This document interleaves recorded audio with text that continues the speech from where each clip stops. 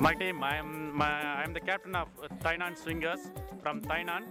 Uh, we are basically an Indian team, but we have an Australian and uh, also a Taiwan player and also one West Indies guy, Michael and Steve, Australia from Australia, Yi Chen from uh, Taiwan, and others from in India.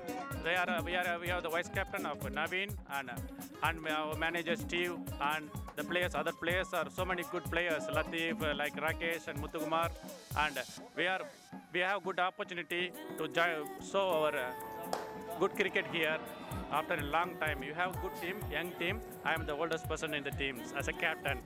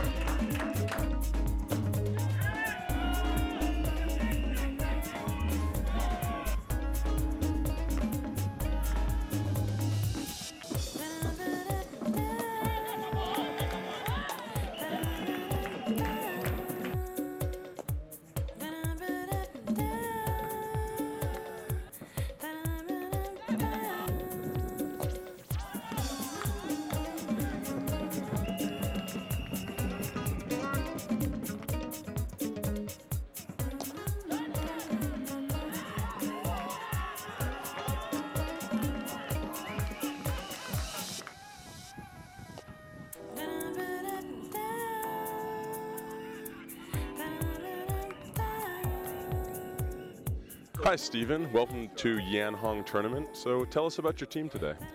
Uh, well, we, we played fairly well. Uh, yesterday, we, we batted quite well in the first game to be the Daredevils, and then uh, I think the second game we we fell apart.